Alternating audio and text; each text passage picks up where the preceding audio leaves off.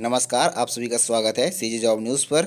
दोस्तों, जिला एवं सत्र न्यायाधीश रायगढ़, छत्तीसगढ़ के अंतर्गत में विभिन्न पदों पर भर्ती के लिए विज्ञापन जारी किया गया है। साथ ही साथ में पारिवारिक न्यायालय धमतरी के अंतर्गत में भी चतुर्थ श्रेणी कर्मचारियों के पदों पर भर्ती के लिए विज्ञापन जारी किया गया है, जिसकी जानकारी आज हम आपको एक एक करके इस वीडियो के माध्यम से देने वाले हैं। शुरू करते हैं सबसे पहले, जिला एवं सत्र न्यायालय रायगढ़, छत्तीसगढ़ के अंतर्गत में चतुर्थ श्रेणी और कर्मचारियों के विभिन्न पदों पर भर्ती के लिए विज्ञापन जारी किया गया है। चुके अभ्यर्थियों से यहाँ पाँच अक्टूबर दो हज़ार उन्नीस से लेकर के इकतीस अक्टूबर दो हज़ार उन्नीस प्रातः ग्यारह बजे से लेकर के शाम पाँच बजे के बीच में जिला एवं सत्र न्यायालय रायगढ़ में आवेदन पत्र जमा करने के लिए यहाँ पर कहा गया है इसमें सहायक प्रोग्रामर के एक पद पर स्टेनोग्राफर अंग्रेज़ी के लिए दो पद पर, स्टेनोग्राफर हिंदी के लिए चार पद पर, सहायक ग्रेड तीन के यहाँ पर बारह पद पर, क्लर्क स्टेनो के तीन पद पर भृत्य नियमित पद के लिए यहाँ पर दो पद पर और भृत्य यानी चपरासी के कलेक्टर द्वारा आधारित पर यहाँ पर चार पद हैं। इस प्रकार से कुल मिलाकर के यहाँ पर अट्ठाईस पदों पर भर्ती के लिए विज्ञापन जारी किया गया है। सहायक प्रोग्रामर पद के लिए चयनित अभ्यर्थियों को अड़तीस हज़ार एक सौ रुपए से लेकर के एक लाख बीस हज़ार चार सौ रुपए वेतनमान का आपका लेवल यहाँ पर जाएगा, जिसके लिए शैक्षणिक योग्यता यहाँ पर मान्यता प्राप्त विश्वविद्यालय से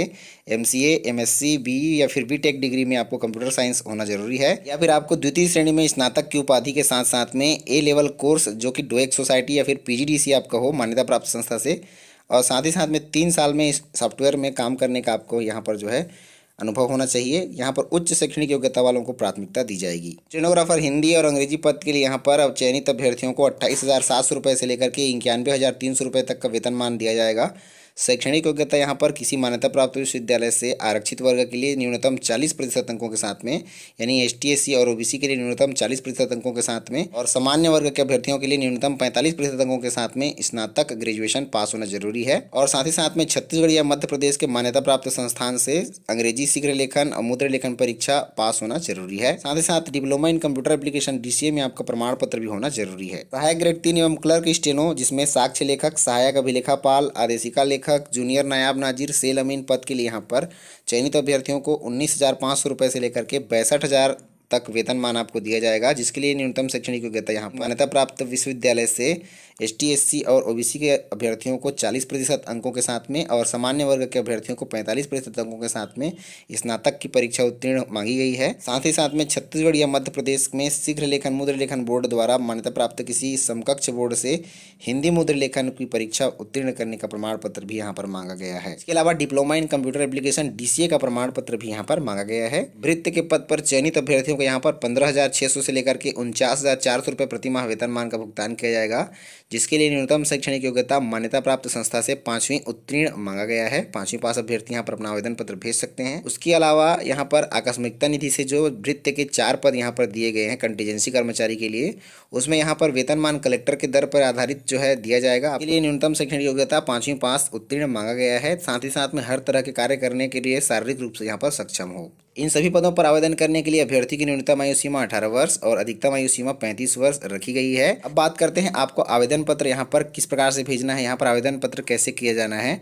इस विज्ञापन में, इस पीडीएफ में आपको आवेदन पत्र का प्रारूप दिया गया है, फॉर्मेट दिया गया है एप्लीकेशन का। आप उसको अपने नज़दीकी कंप्यूटर सेंटर या साइबर कैफ़े या फिर फोटोकॉपी सेंटर से आप उसका प्रिंट आउट लेकर के अपनी चाहिए गई सभी जानकारियाँ भरने के बाद में सभी दस्तावेजों के साथ में आपको स्वयं उपस्थित होकर के पूरा भरा हुआ आवेदन पत्र पाँच अक्टूबर 2019 से लेकर के इकतीस अक्टूबर 2019 के बीच में, प्रातः ग्यारह बजे से लेकर के शाम पाँच बजे तक बंद लिफाफे में आपको, जिसके ऊपर में आपको पूरी जानकारी लिखना है, आपको जमा करना है जिला एवं सत्र न्यायालय रायगढ़ में। अलग अलग पद के लिए आपको अलग अलग आवेदन पत्र भेजना है। आवेदन पत्र जमा करने के लिए अभ्यर्थी को यहाँ पर स्वयं उपस्थित होना ज़रूरी है, क्योंकि अभ्यर्थी जिस दिन वहाँ पर अपना आवेदन पत्र जमा करने जाएँगे, उन्हें परीक्षा में शामिल होने के लिए प्रवेश पत्र भी तुरंत दे दिया जाएगा। पर स्पष्ट रूप से निर्देशित कर दिया गया है, डाक के द्वारा भेजे गए आवेदन पत्र पर मान्य नहीं किए जाएँगे। अभ्यर्थियों को स्वयं उपस्थित होकर के ही अपना आवेदन पत्र वहाँ पर जमा करना अनिवार्य होगा। यहाँ पर इन पदों पर भर्ती के लिए परीक्षाएँ भी आयोजित की जाएँगी, जिसका समय सारणी और किस प्रकार से चयन किया जाएगा, सारी जानकारी साथ ही साथ में आवेदन पत्र का प्रारूप भी आपको इस विज्ञापन में प्राप्त हो जाएगा, इस पीडीएफ में प्राप्त हो जाएगा, जिसका लिंक आपको डिस्क्रिप्शन बॉक्स में प्राप्त हो जाएगा। दोस्तों, परिवार न्यायालय जिला धमतरी छत्तीसगढ़ के अंतर्गत में भी यहाँ पर चतुर्थ श्रेणी कर्मचारियों में माली और फर्रास के पदों पर भर्ती के लिए विज्ञापन जारी किया गया है, जिसमें आवेदन पत्र भेजने की अंतिम तिथि पच्चीस अक्टूबर दो हज़ार उन्नीस निर्धारित की गई है। यहाँ पर माली के एक पद के लिए और फर्रास के एक पद के लिए भर्ती के लिए आवेदन पत्र यहाँ पर आमंत्रित किया गया है। जिसके लिए शैक्षणिक योग्यता मान्यता प्राप्त संस्था से आपको पांचवी उत्तीर्ण मांगी गई है। पांचवी पास उम्मीदवार इन पदों के लिए अपना आवेदन पत्र भेज सकते हैं। इन पदों पर आवेदन करने के लिए अभ्यर्थी की न्यूनतम आयु सीमा अठारह वर्ष और अधिकतम आयु सीमा चालीस वर्ष रखी गई है। इन पदों पर आवेदन करने के लिए इच्छुक अभ्यर्थी अपनी सभी जानकारियाँ प्रमाण पत्र दस्तावेज़ आदि सभी लिफाफे में भरने के बाद में अपना आवेदन पत्र कार्यालय न्यायाधीश, कुटुंब न्यायालय धमतरी, जिला जिला धमतरी, छत्तीसगढ़ के पते पर पंजीकृत डाक स्पीड पोस्ट के माध्यम से 25 अक्टूबर 2019 के पहले अपना आवेदन पत्र भेज सकते हैं। ज्ञापन में आपको आवेदन पत्र का प्रारूप और किस प्रकार से यहाँ पर चयन किया जाएगा, आप किस प्रकार से यहाँ पर अपना आवेदन पत्र भेजना है कौन कौन से दस्तावेज़ आपको अपने आवेदन पत्र में संलग्न करने हैं, सभी जानकारियाँ मिल जाएँगी, जिसका लिंक आपको डिस्क्रिप्शन में प्राप्त हो जाएगा, जहाँ से आप सीधा इसे डाउनलोड कर सकते हैं। दोस्तों, आज की इस वीडियो में बस इतना ही। मिलते हैं रोज़गार समाचार और ढेर सारी जानकारियों के साथ में। तब तक के लिए जय हिंद, वंदे मातरम।